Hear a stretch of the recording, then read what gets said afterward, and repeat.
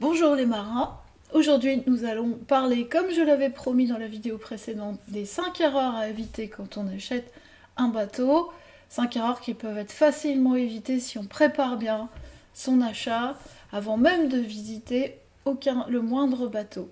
Alors la dernière fois on l'a vu, euh, la première erreur finalement nous l'avons euh, détaillée, c'est de mal définir son programme de navigation, ça c'est vraiment fondamental on a vu que ça avait quand même coûté son bateau à Marc et ça aurait bien pu lui coûter la vie. Alors je ne vais pas revenir sur cette erreur, nous on va parler d'autres erreurs, euh, comme celle par exemple d'avoir un budget trop serré.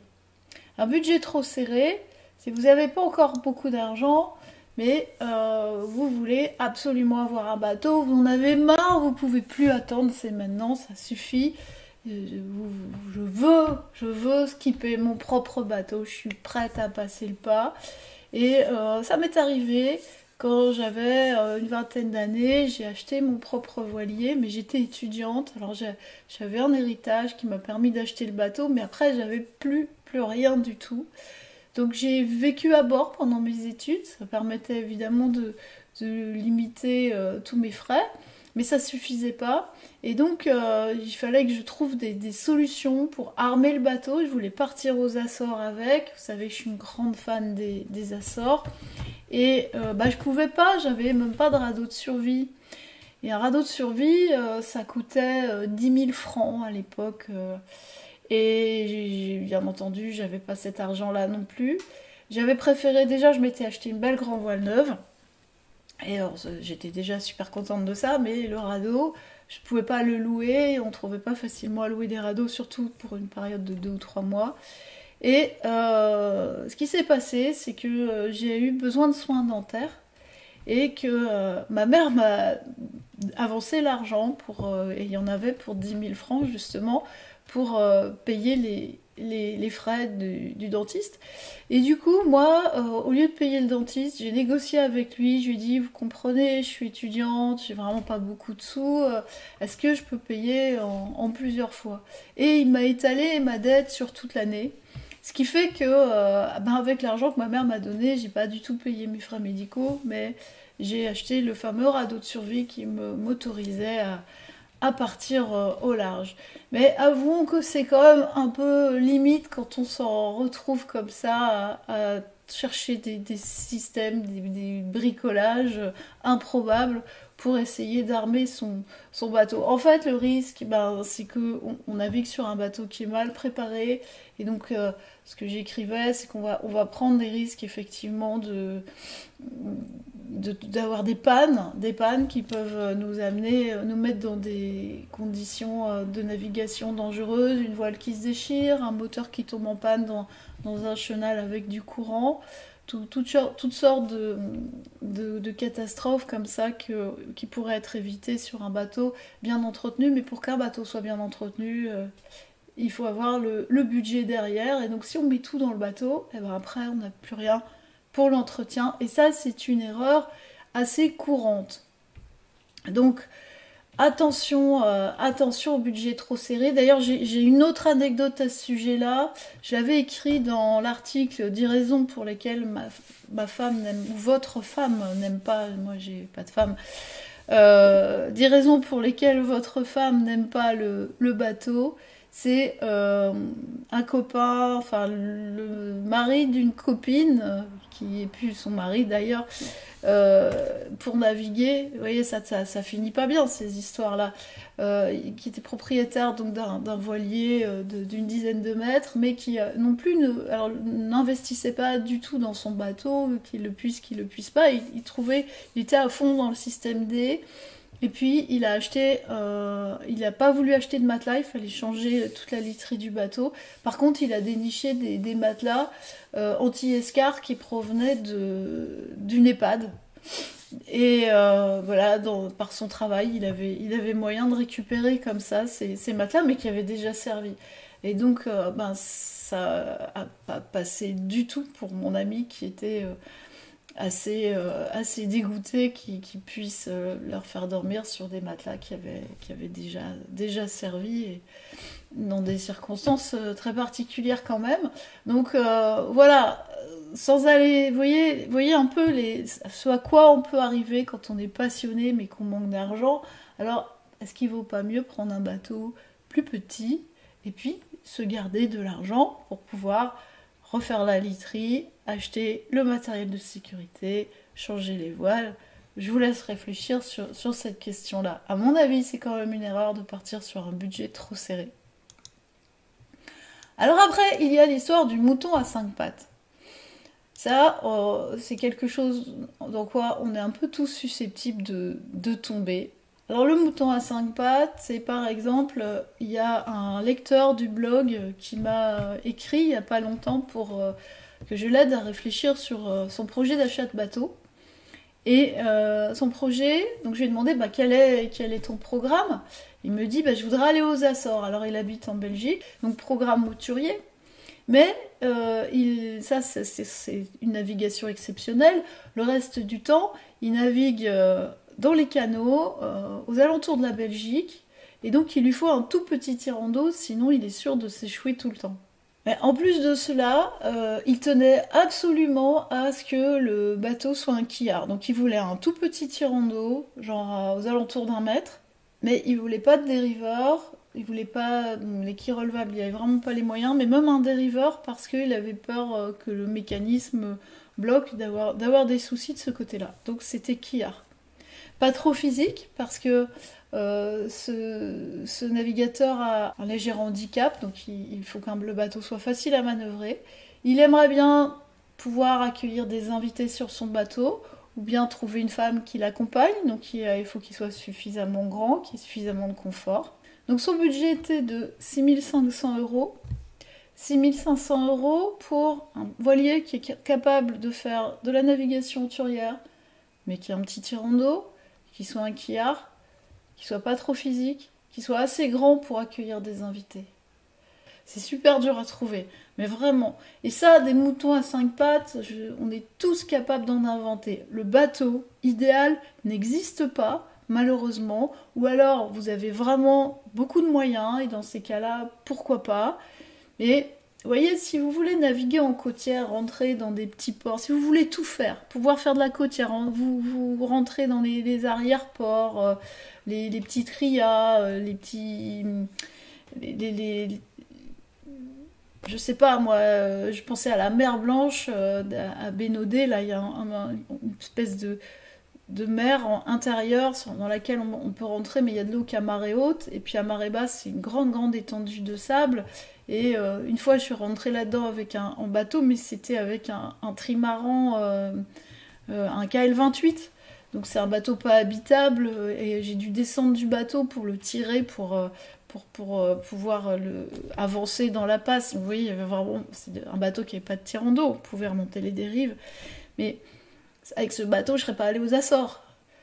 Et là, imaginons que vous vouliez faire ça, mais que vous voudriez aussi aller aux Açores. Et puis pourquoi pas dans les glaces Et pourquoi pas prendre le passage du Nord-Ouest Ou bien remonter l'Orénoque De toute façon, si vous voulez vraiment le bateau idéal, il va vous coûter très cher et vous allez vite rentrer dans des contradictions. Ça va vraiment être difficile. Donc si en plus, il y a un tout petit petit budget, eh ben il a quand même trouvé un bateau. Je voulais vous le montrer parce que moi j'ai trouvé ça génial.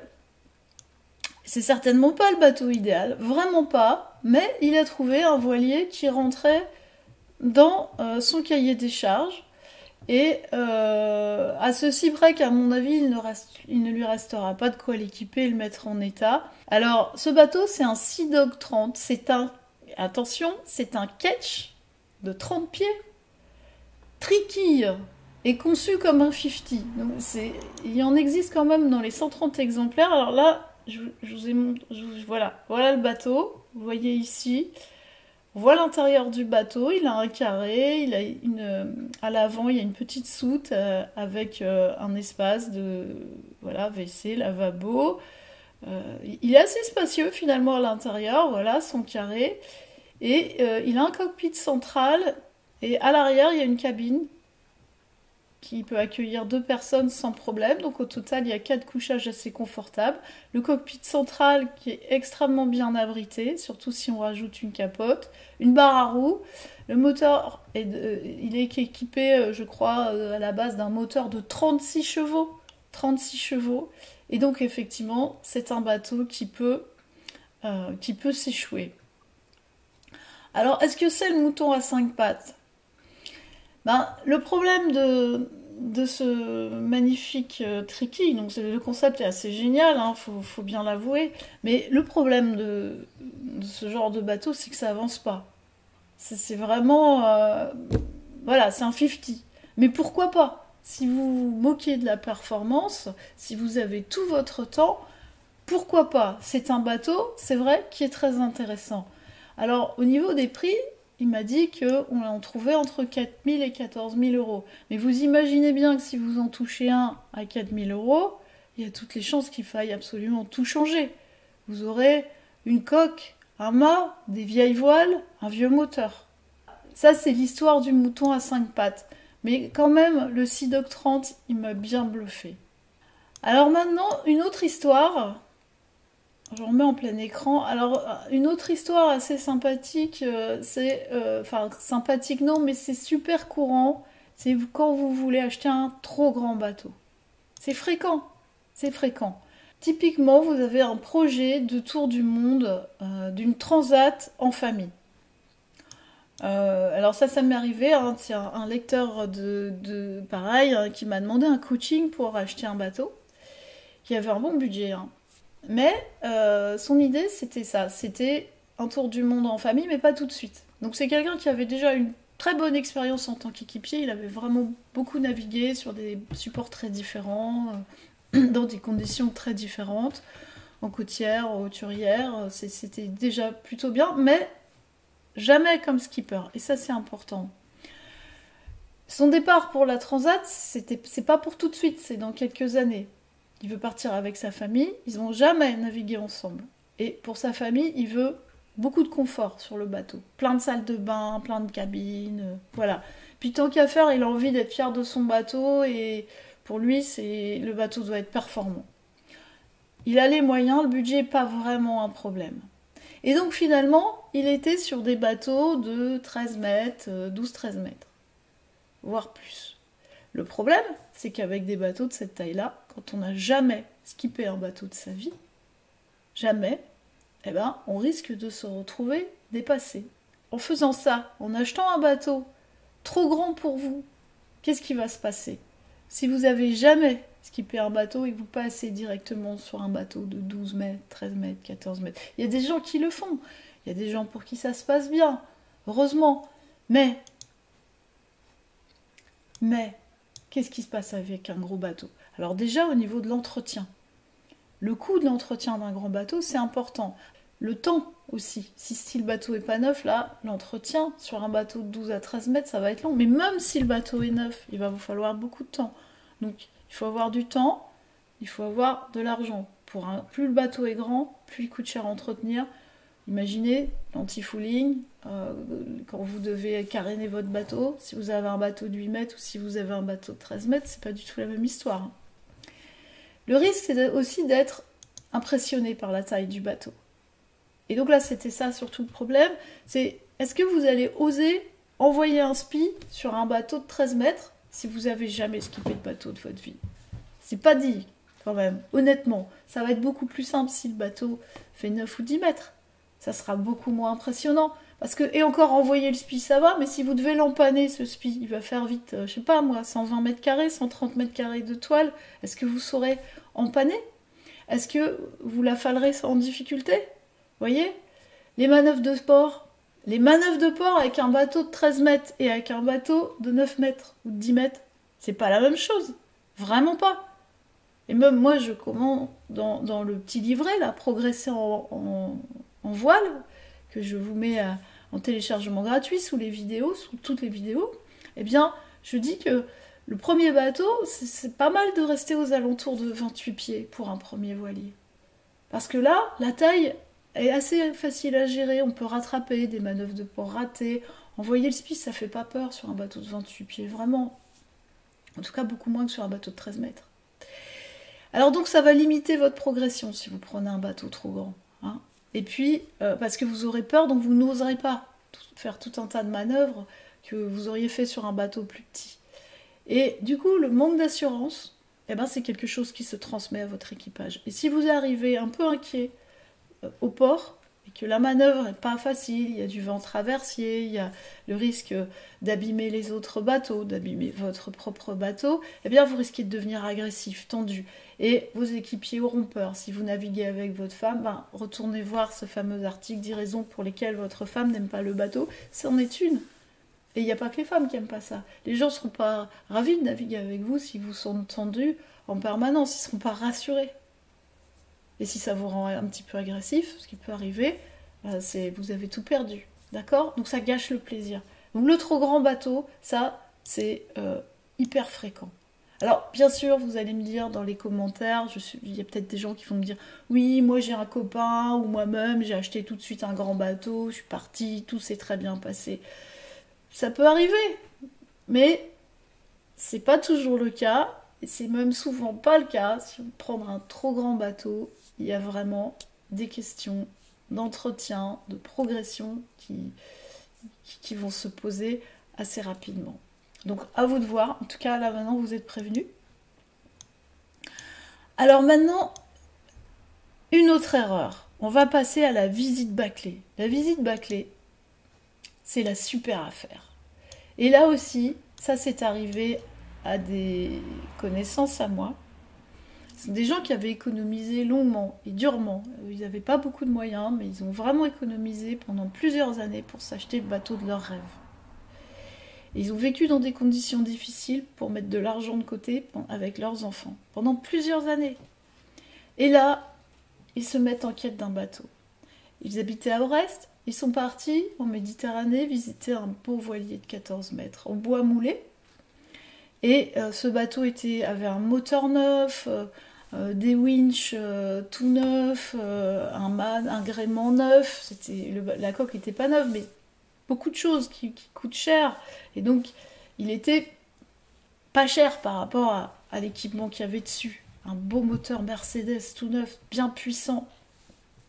C'est vrai que ça leur faisait envie.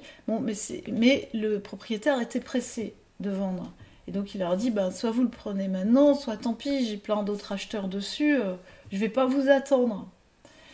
Et du coup, euh, les copains qui n'avaient euh, pas le temps de faire non plus 10 000 allers-retours entre Brest et puis la Méditerranée, c'est vrai que c'est loin, eh bien, ils n'ont pas fait d'inspection de la coque au sec. Et ils ont payé le bateau. Et ils ont fait ramener le bateau par camion à Brest. Et nous, on a vu le bateau arriver. Euh, on attendait, on voulait voir, ils nous en avaient parlé, un magnifique, je sais, je crois que c'était un ketch rouge, très très beau, très beau, c'est vrai. Mais euh, quand il est arrivé euh, et qu'il a été calé euh, par les, ouvriers du port, donc on est allé inspecter la coque au sec justement. Et là, il y a un copain qui a juste gratté un petit peu aux alentours de la pièce de quille avec un tournevis. Et son tournevis a traversé la pièce de quille de part en part, mais comme dans du beurre.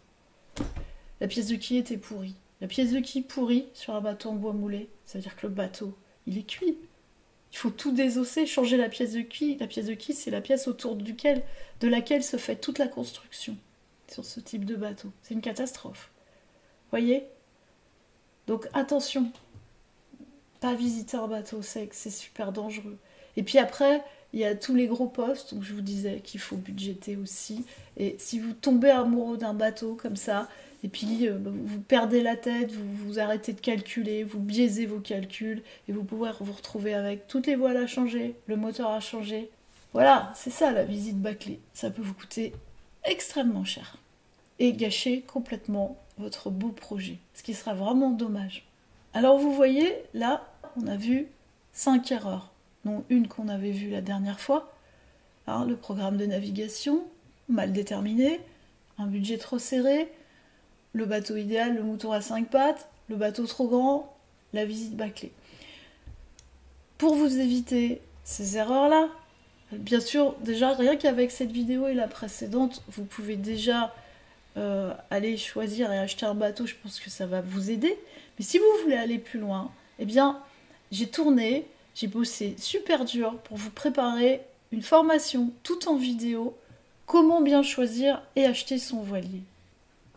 Donc j'ai conçu cette formation pour que vous ne soyez pas tout seul à choisir et acheter votre voilier. Je vais vous expliquer comment, en suivant cette formation, vous ne serez pas seul. Déjà, il y a plus de 3 heures et demie de vidéos qui sont découpées en différents chapitres dans lesquels je vous explique tout, étape par étape, comment procéder. Ensuite, euh, j'ai prévu effectivement des sessions où on va discuter en live de votre projet et de celui de toutes les personnes qui vont vouloir s'engager dans cette formation. Il y aura du coup du partage d'expérience. On va voir comment les uns et les autres font, comment qu'est-ce qu'on cherche, quelles questions on se pose, et ça, c'est très très riche et ça va aider tout le monde. Ensuite, vous allez gagner du temps parce que dans cette formation, je vous explique les formations, je vous explique les formalités d'achat de bateau, mais je vous ai tout détaillé. Euh, petit 1, vous faites ça, petit 2, vous faites ça, petit 3, vous faites ça, dans quel ordre vous faites les choses. Du coup, vous avez juste à suivre. Je vous prends par la main. Vous allez économiser de l'argent, c'est ça peut-être le, plus important, parce qu'on va, on va parler de la négociation, comment bien négocier le bateau, sur quelle base. On va essayer au maximum de vous éviter les mauvaises surprises. Et honnêtement, si vous respectez toutes les précautions que je vous suggère, que je vous conseille fortement dans cette formation, eh bien, logiquement, vous ne devriez pas en avoir. Et vous allez aussi bien chiffrer les coûts d'entretien, les coûts de remise en état, vous ne serez pas surpris. Donc, le budget sera maîtrisé du début à la fin y compris quand vous aurez votre bateau et que vous devrez l'entretenir. Et puis si jamais finalement vous vous dites mais cette formation elle ne me convient pas, eh ben il y a une garantie satisfait ou remboursée de 30 jours. Vous avez 30 jours pour découvrir la formation et en 30 jours vous avez le temps de, voir toutes les vidéos, il n'y a pas de souci. Donc si elle vous plaît pas, bah tant pis, vous me demanderez un remboursement. Je vous poserai pas de questions. Je rembourse, c'est pas un problème. Alors, cette formation, en plus, il y a des bonus. Et il y a ce fameux coaching collectif où il y aura plusieurs séances, minimum deux, peut-être trois, on verra, ça dépend combien vous êtes et des besoins. Mais sûr, je m'engage à ce qu'il y en ait deux, deux séances pour pouvoir vous accompagner justement dans l'achat de votre voilier. J'ai préparé des documents ils n'avaient plus qu'à les remplir pour bien préparer votre achat. Donc il y a trois documents différents. J'ai tout transformé, toutes les vidéos également en podcast audio, ce qui fait que vous pouvez très bien écouter. Si vous n'avez pas le temps de regarder les vidéos, eh bien vous pouvez simplement télécharger les fichiers audio et les écouter sur votre téléphone, dans votre voiture, dans tous les, moments euh, où vous avez euh, du temps à perdre. Et puis, vous aurez accès en plus à la vidéo complète, choisir un voilier suivant son programme de navigation qui se trouve actuellement sur la chaîne YouTube mais que j'ai coupé à euh, peut-être 10-12 minutes, qui, qui avait été enregistré en live quand on a envoyé au mois de mars l'année dernière un voilier virtuel aux Açores. On avait préparé, on avait choisi d'abord un voilier suivant ce fameux programme de navigation. Donc si vous avez un programme de navigation auturier, eh bien cette vidéo pourrait bien bien bien vous aider.